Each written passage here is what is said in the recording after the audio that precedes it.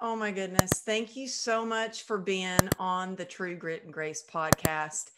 I swear, I the more I get to know you, um, I think I'm just going to nickname you the most interesting man in the world because you never cease to amaze me with everything that you do. I mean, the adventures you go on, the the entrepreneur that you are, the the real estate god that you are. You make me want to buy a house in Utah, by the way. I love um, that. And I love your book. I'm a big fan of your book. I've been listening on Audible and we'll talk about that. Y'all check out MrJimmyRex.com right now while you're just starting to listen. All the links will be in the show notes, but I'm just so happy to have you here. Thanks for joining us. Well, thank you so much. It's funny you say that. I get introduced a lot when I speak to real estate groups as the most interesting man in real estate. So I, you're not the only one that's not that. Are you serious? That's so like I just have that the the the commercial that's like the most interesting man in the world.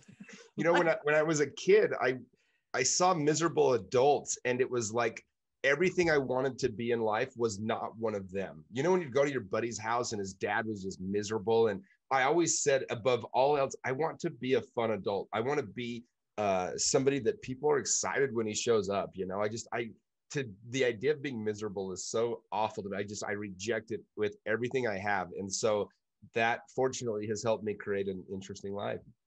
Yeah, well, let's just talk about some of the things you've done. I want to talk about how you grew up too, because it sounds like we grew up a lot alike, but you really follow your heart and you have such a big heart. Um, you have built successful businesses.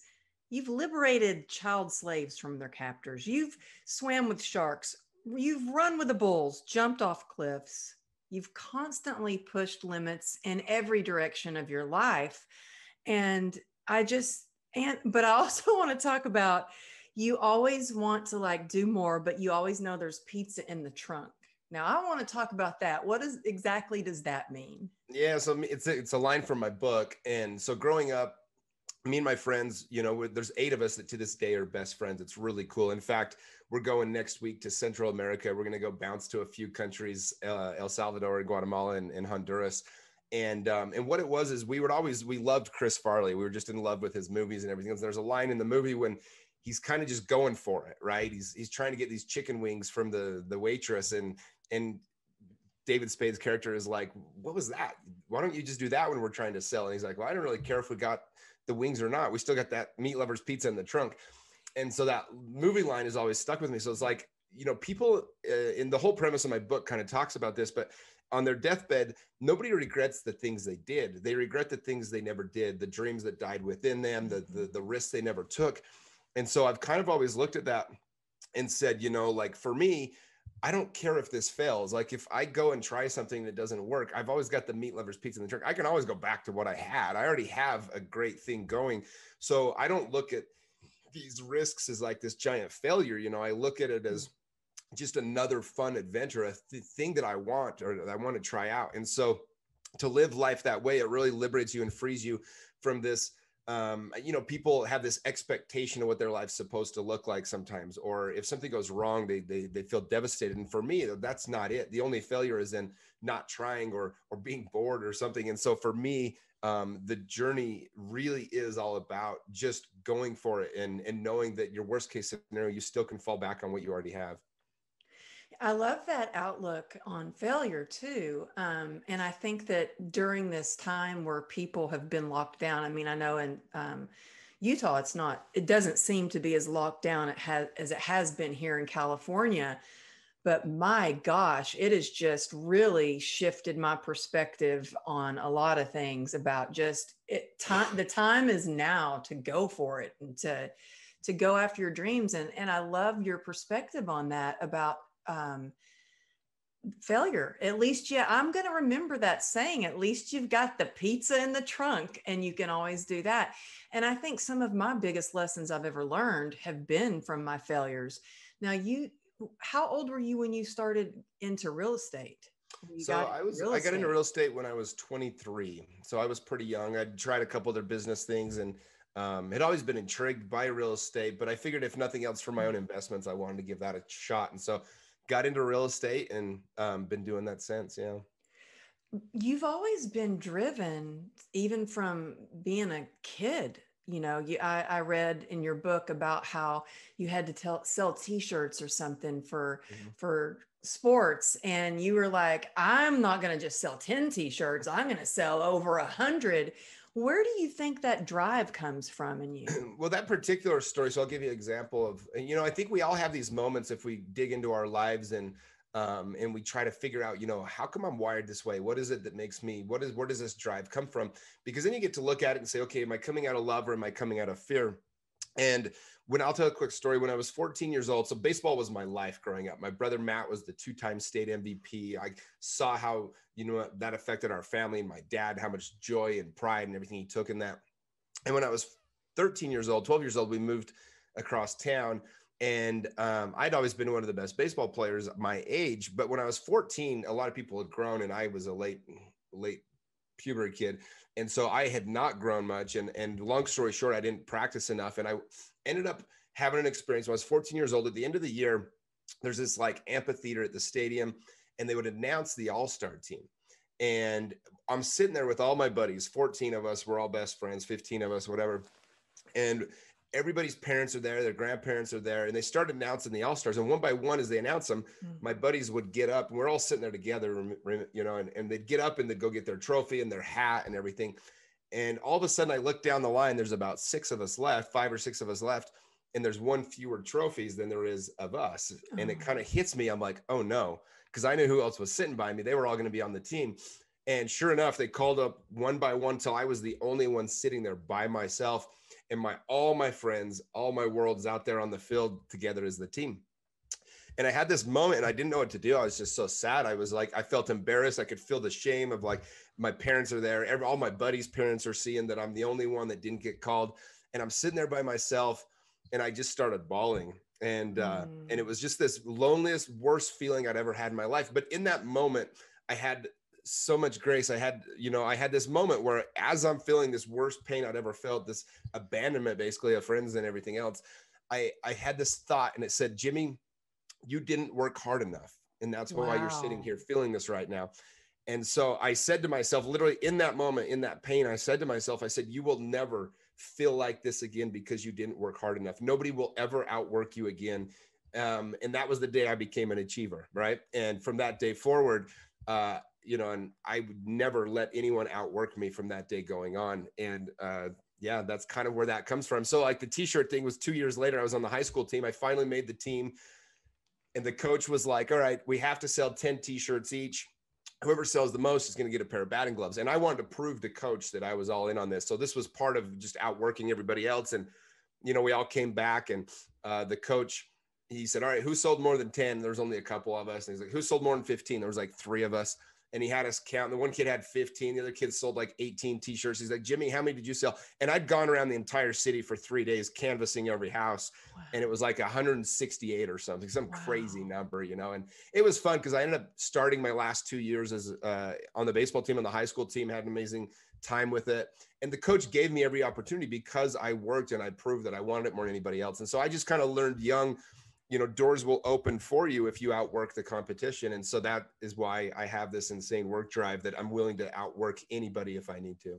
Wow. Well you know such great lessons there. First of all that you took accountability that you weren't trying to like no as a 14 year as a 14 year old a lot of people would have blamed the coach or blame the, and it was me. I wasn't good enough. I wasn't and i didn't work hard enough and i knew it. And that was the gift was that i took the personal responsibility I mean, that is where it starts right there is mm-hmm. the accountability. And that so much, so often people do want to put the blame on the coach or the, the parents even will want to put the blame on the coach or, or whatever. But you, I like how you said you had that moment of grace and what a learning lesson for you.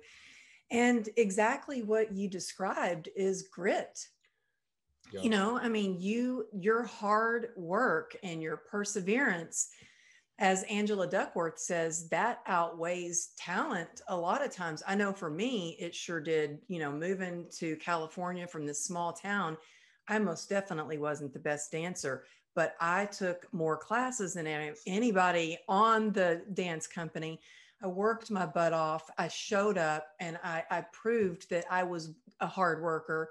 And that gets you so far. And and well, just and just knowing people knowing that they can count on you for things. Yeah. I mean, you know, and it's um I saw something the other day. The average worker that um that ends up getting promoted usually works about 10% harder than the competition but that 10% and they end up earning 40 to 80% more but that 10% is when every day the boss comes in you're the person that's in there working right or you're a few minutes later than everybody else they're in the office or whatever that looks like but it's interesting because so many people nowadays they give up their own power and what i mean by that is yeah the, the the gift of that story was that i took that responsibility and i realized that i was the problem and you see today, people want to be victims. They want to fall in love with this story. Well, because of this, I can't succeed, or because of this, I can't do that thing, or, or I'm being screwed this way.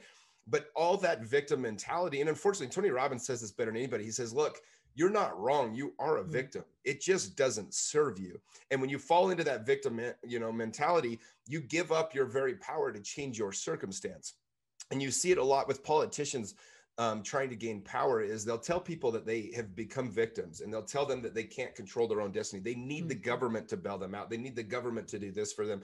Or, you know, like these people don't care about you. We do. We're going to bail you out. But in reality, usually the other people just realize that you don't do anybody any favors by giving them these handouts and these bailouts and all these things. In some cases, absolutely, it's needed. But for the majority of the time, you really handicap somebody when you give them a cheap bailout.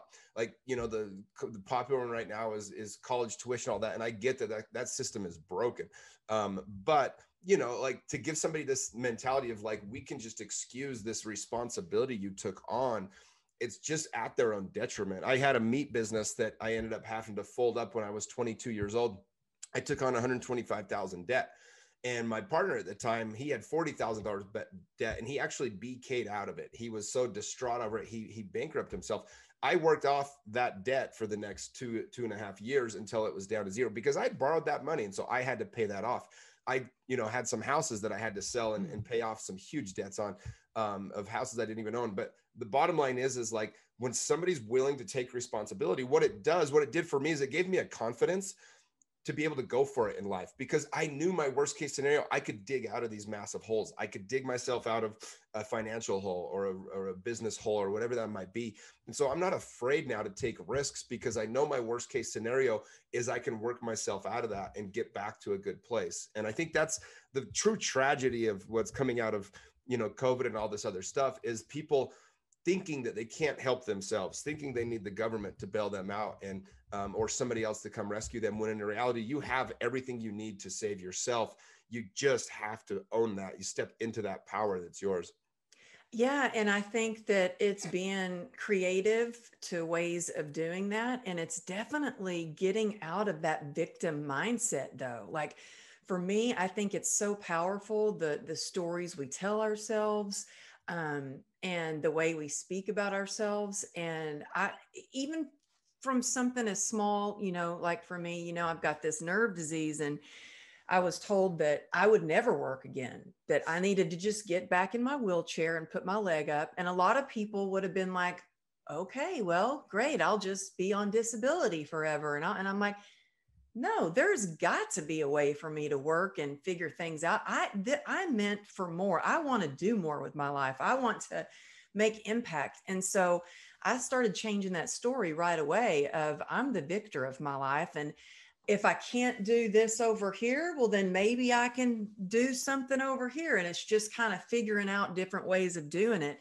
Um, and so I, I love the message that that you say just be the victor of your life and there's always a way to dig yourself out of things mm-hmm. um, but you don't just get dig yourself out you dig other people out too. I mean you have this giving heart. I watch your stories and now i have to say i'm a fan on tiktok. You're blowing it up on tiktok. Hello i just discovered your tiktok this morning and I'm like, oh, I got to get off his TikTok because I'm binging everyone. You're like playing basketball with Dennis Rodman. You you do crazy stuff on TikTok, but the thing that touches me the most is you have this thing called the $100 dinner club. Mm. And I literally cry when I watch these videos that you share. You, you're giving back so much. Can you tell us a little bit about that? What inspired you to create this club and um, what's Sure. next with it? Yeah. So, you know, the restaurant industry has been hit as hard as anybody by COVID and all that kind of stuff, and mostly from the shutdowns of the government. But, um, and so I have been thinking of ways to kind of give back to that community. Me and some buddies on a, a taco restaurant in Las Vegas called Mas Por Favor. And uh, so I'm familiar with the industry and kind of how hard it's been for a lot of people. But I, uh, and so what I did is I, I saw a video actually that another realtor did where a couple went out to breakfast and they all left a hundred dollar tip and they, you know, gave it to the, the waitress and, and she was just bawling. And I was like, oh my gosh, it like got me all choked up, just like you said, you know, and I, I was like, well, I want to do that. I'm going to do that this week. And then I was like, wait, I'm going to do that every week. Like, why not? And I started doing the math. Excuse me. I was like, if I do that every single week for a year, we're only talking about 5,000 bucks. It's really not very much money. And so I said, you know. I'm going to get my friends together every single week. And whoever wants to come is going to be a great way to network. We're going to meet like minded people and we're going to do this. And so we've had, I think we've done it 15 or 16 weeks in a row now. And so once a week, we all get together and we have dinner at a restaurant. Uh, last week we did it at Denny's. You know, this week we're doing it at the the Wing Nuts. You know, the, the chicken wing place, and we just all get together. We have a meal. It's a cool little networking thing. You meet some great people, and then at the end of it, everybody brings a hundred dollars cash, and we give this giant tip to the waitress or waiter. And so, uh, and then we film it so that we can create a movement around it. So we've wanted to share videos of this so that other people get involved. And what's been really cool is, like I said, we've been doing it about three, four months now, and we've had I think there's over 40 groups that have done it in different states across the country now. Um, people that you know saw it on mine and, and decided to go with it. And so we just encourage everybody, anybody that wants to, to do this. And you're talking about, you know, it's it's funny because we I do these things um, like the hundred dollar dinner club, and people are like, why, how are you like? Why do you why do you like why do you go out of your way to do these kinds of things? And the honest truth is, is it's just a really fun way to live. Like it feels good. It's great. You go out, you have these experiences. It's hard to have a bad day when you're doing so much Mhm. for somebody else. And so selfishly, it's a really cool way for me to give back and to feel good every single day when I'm doing this. And so I just I've really enjoyed being able to give back to other people. Um, you know, and, and what's cool is you meet the most amazing people. And it- just in this networking group alone, um, you know, I've met new friends. I've had I've sold houses from it. I've I've connected people that um, are working together now. All these different things that are really cool that come out of these things. So that's what the whole premise of it has been. But we're going to keep doing it. I said I'm going to do it every week this year, and so yeah, you know, every single week we we find a day, and anywhere from 12 to we've had as many of a hundred of us Mm. have gone out to dinner, and it's just been a really fun way to to kind of give back during the pandemic. Well, I'm going to be in Utah in May, and I want to go to one of those dinners with you. Absolutely, you let me know, and we'll make it happen. Yeah, I mean, I know, um, you know, when I first moved to LA, I worked four jobs. Um, I got four jobs in the first two weeks that I moved out here, and um, two of them were waitressing jobs. And I remember I worked in this one area that was a really rough area, and these Hell's Angels came in and they left me a hundred dollar tip. And I cried just Mhm. at a hundred dollars that they left me. And I was just like, that, that can really make or break. Like there were so many times when I didn't know how I was going to pay my rent or put gas in my car or or didn't even know how I was going to buy. I was glad I worked at a restaurant and I could eat meals for free sometimes, but so I, I just love what you're doing and especially you know me being a waitress for so many years when i was younger that just really touched me so yeah i would love to meet y'all for dinner at your $100 dinner club i just like i said y'all check out his videos either on instagram at mr uh, jimmy rex or you can check out his tiktok which is exploding i have to ask you this is kind of getting some off topic a little bit, but I wanted to ask you about um, social media a little bit and how Sure. you are promoting your business and and just all the fun that you do.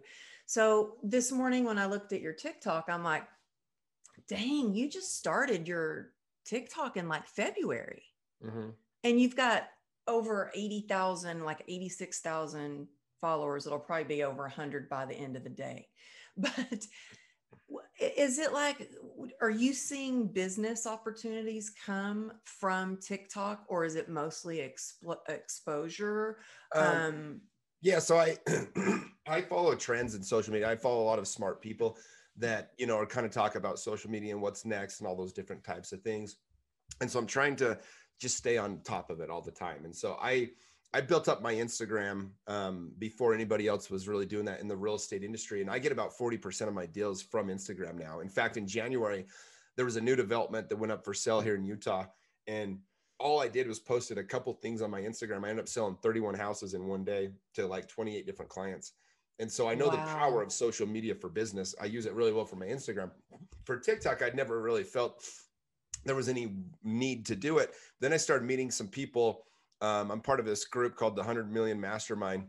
And oh, with Dan Fleyshman? It is. Yeah, Dan's. I spoke at one of his uh, masterminds a awesome. couple of weeks ago. Yeah, so I was at the one in Arizona, and I'm part of this group called the Avengers Group, and um, I'm an instructor for them. It's basically a bunch of real estate experts that help train people how to invest in real estate. And they, I was talking to people that were killing it with TikTok, and so I knew I needed to build it up, and I had a, a you know, I, I I know which of my videos have been very popular in the past. And so I had this kid that's helping me, this kid Roger. And I said, Hey, I need to build up my TikTok. I sent him like 50 of my videos of just cool things that I've done. And one of them is I sunk a houseboat one time at Lake Powell. And when that video originally went out, you know, I put some, I put the Titanic music behind it, and you got this video, and the, the water's coming in, and it's just a fun little video. And so we put that on my TikTok, and that's, if I'm being honest, that's kind of how it blew up. And so we broke that out into like four or five parts, and through that, uh, it kind of my TikTok in in just less than a month went to over you know 2 million likes and and 80,000 followers and stuff. And so I just I had some viral videos already. And so I haven't really started using TikTok as a business vehicle yet. I'm just building it still, but within the next month to month and a half we're going to start pivoting and kind of using it for that. Yeah, um, I'm still trying to figure out TikTok. I mean, the the reason I got on is because my daughter was like, "Mom, you are too old to be on TikTok." So I was like, "Oh, I'm definitely getting on TikTok." But um, I did a video, and for some reason, it had hundreds of thousands of views. And and my daughter pulled it up. She goes, "Mama, they took the sound off your TikTok." And I was like, mm. "What?" I was like, "That's my original sound. I'm talking." So I don't know why that kind of stuff happens. No, know? I have no idea either. And it's it's one of those things I'll never understand the algorithms. I just try to pivot and I'm I'm very aware that I don't own any of these platforms. I'm just mm-hmm. using them. And so, you know, you got to build your own thing on the side always. But, you know, there is opportunity in all this. And uh, it's kind of funny. Like I'd never even bothered to go on TikTok. And I went on, I'm like, I see why people like this. Like I can see why it's addictive. Yeah, it's funny or it's inspirational or you got you know people dancing all the time and it's very uh, easy to get sucked into it. So what I decided, and this is kind of my theory in life, Amberly, and this is one of the reasons I bring this up is you're either a consumer or a creator. And another word for consume is destroy. And the most godlike quality a person can have is to create, the great creator. And so for me, I always tell people if you want to make sure you're not wasting your time on these platforms, be a creator, not a consumer. So be putting content out, be putting things out there, help people with what you do. Be a creator, not so much a consumer. That's the way that you can use these as a tool for the good. Yeah, that's so important. And I actually really catch myself first thing in the morning i never pick up my phone even though i want to but i have my day where i can decide what my intentions are and what i'm going to create because and even with my daughter i'm like okay enough of the you know watching scrolling through time to go outside or time to to make something whether it's horse treats or whatever she's doing but yeah i love that and um, I think we originally met on Clubhouse. Did we meet on Clubhouse? Is that Clubhouse or Instagram? One of them. Yeah, I'm not. Yeah. Uh, um, I wanted to ask you, how are you feeling about Clubhouse? Is that driving business your way? Do you feel like um, it's a way that you can be creative, or do you feel like you're consuming? Are you getting in there and making some deals? So when it had its first, when it first launched, there was like a golden era of Clubhouse very early on, where um, it seemed like it was kind of a really smaller community. Now you go on, you kind of just get lost it. If I'm being honest with you, I haven't been on in over a month. Um, unless I get called back to Clubhouse to use it as a business tool, I probably it's just another social media that I don't have as much time for right now, and so um, I haven't been using it much. Um, mm-hmm. And that's why I say, you know, I have somebody running my TikTok. I'm not on there very often either, to be honest. I don't even know what's been posted for the last few weeks. I try to let other people do what I could do the same way because they're just, you know, and so I'm not using Clubhouse right now. I'm frankly, besides Instagram, I don't use much social media at all. Instagram is the one tool that is really perfect for me to mm-hmm. be able to show what I do, to get clients to um, to share what I'm doing on a daily basis to help people with real estate. And so for me, Instagram is the tool that I've been using the most. And I think it's important to find what works for you and stick to that. For me, yeah. it's Instagram as well. Um, especially, you know, with my book, I sold out at every book signing across the country um, because of Instagram and the connections that I made. I wanted to ask you about your book. I what what was like your inspiration for writing this book? Because and I love you did and was it hard doing the audible? Because that was a little more challenging for me. and, yeah, no, and you sound so good in your audible book. I'm I'm not kidding. Well, I went out and did a, a, studio in LA. It's a studio that does a lot of the main audiobooks. I paid quite a bit of money to do that because I knew the power of having the book in audible form. Um, and so I spent two full days reading that, you know, eight hour days.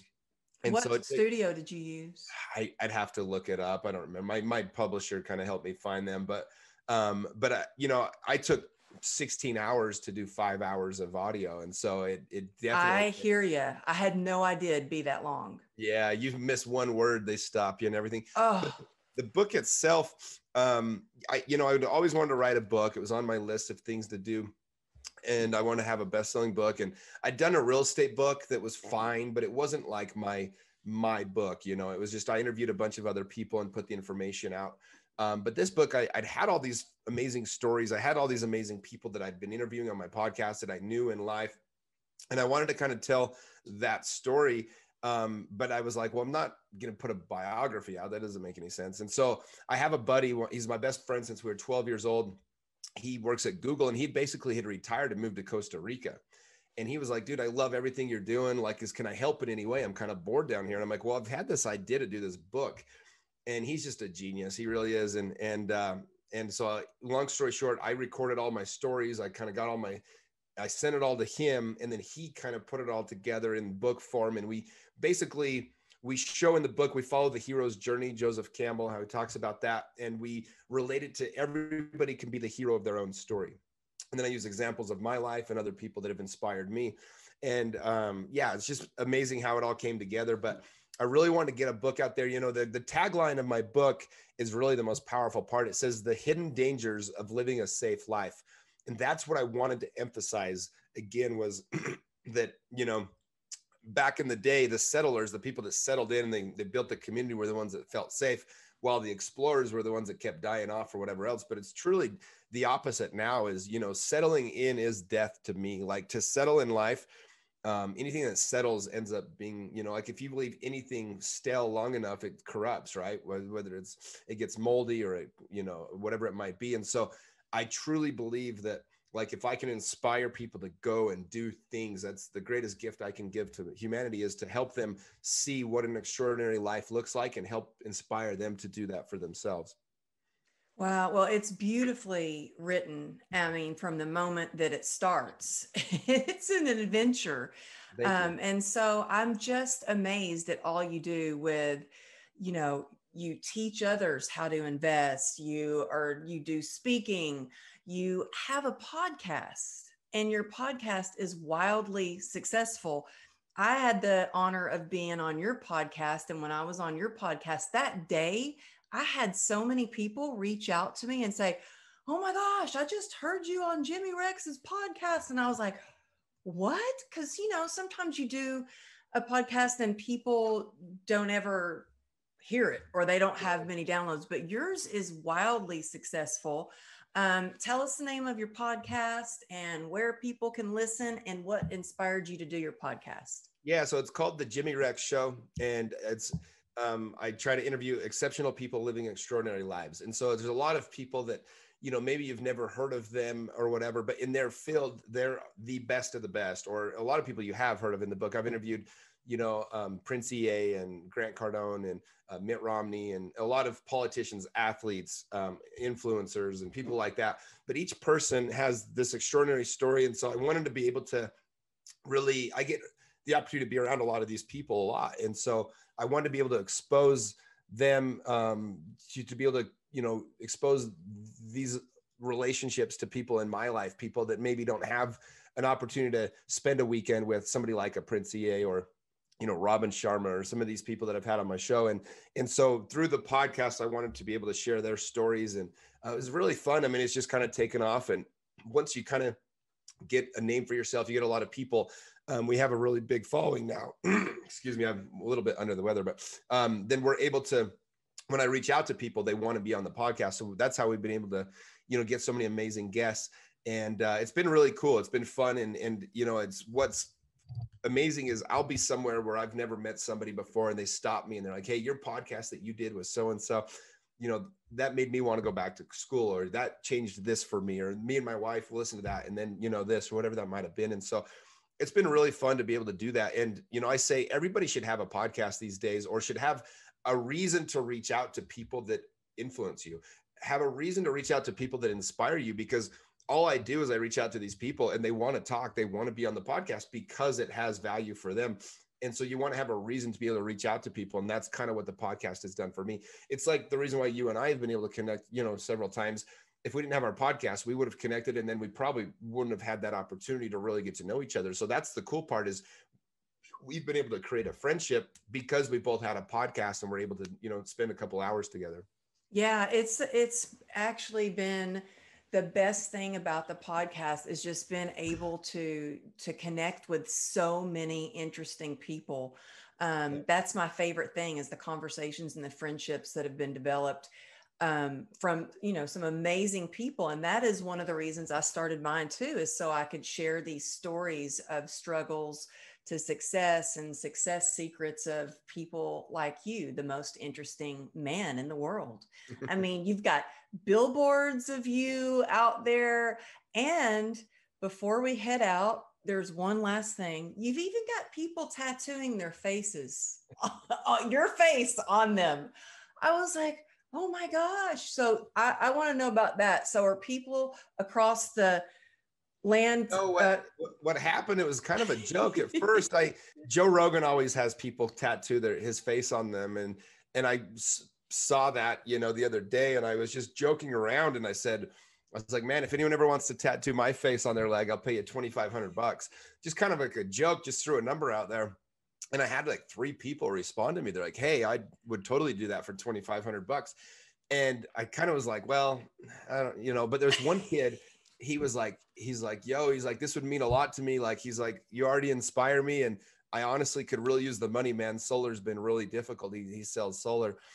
And I could tell it was just different with him. And I was like, you know what, dude, if you want to do it, go ahead. And the next day, I sure enough, he's like getting this tattoo of me on his leg. He picked a picture of mine from the Super Bowl that I was at. And um, and he was in Dallas, and I happened to be down there for the sports card show. Me and some buddies are opening a sports shop here, a sports card shop here in Utah, and so we were out down in Dallas, and so we met up and got a little quick little picture and video with this kid, and it was really cool because he's 19 years old and um, he wanted more than he wanted the money or anything i could tell he wanted to have a connection to be able to oh. kind of have a mentor and so this kid i already the guy i was down there with runs one of the largest sales teams in the country literally and uh, he's the VP of sales of a huge company. And I connected him with that guy and kind of help him with some things there. And like, I know this story is going to end with that kid's life becoming substantially better because he did that tattoo. I'm going to make sure of it. Um, but it was just kind of cool because this is a young kid that, like, I mean, geez, he put a tattoo of my face on his leg. Like, it was all, so funny, but like ridiculous all at the same time. But it's kind of cool because he took a chance on something and I'm going to make sure it pays off. And so that's the part of the story that I really appreciated or that I really loved was that like, okay, that kid would not have been able to meet us otherwise. And because he took that risk, he did.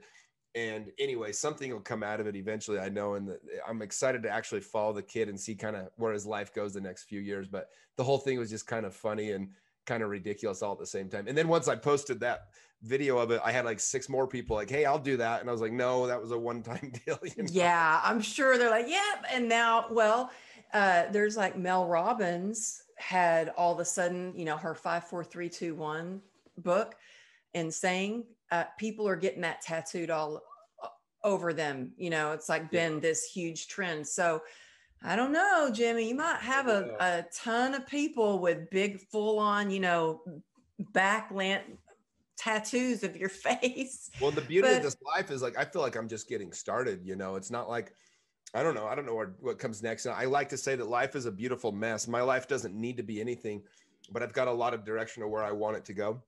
And so I'm just getting started. So I guess we'll see. But um, it's fun. It's been a fun ride so far. Yeah, you definitely keep it fun. I mean, and um, I always like to see what's coming up next for you. And I hope I get to see you in Salt Lake soon. Um, so yeah, so y'all check him out, his website. Tell us where they the best place for people to find you and what you're up to. Um, yeah, I, I post everything on my Instagram, and so that's probably the best place to follow me is Mr. Jimmy Rex um, on Instagram. I do a lot of swipe up stories or whatever, show people whatever, you know, if I'm speaking or having events coming up or any of the podcasts I release, stuff like that. So the best place to find me is on Mr. Jimmy Rex. Uh, that's my Instagram. Okay. Yeah. And there's his website. Y'all check out his podcast. Definitely check out the the TikTok too, because I was like laughing at some of your videos. Um, and uh, anyway, I just appreciate you and sharing so much of your wisdom and your inspiration and your joy for life. You're so good to people, and it shows your beautiful heart and all that you do. So, thank you so much for being here. And I look forward to getting to finally getting to meet you in person someday soon. Absolutely. Thank you so much. Keep doing great things. And uh, truly, thank you for being on my podcast and for the friendship. And look forward to many more fun times ahead. Me too. Thanks, Amberly. Thank you.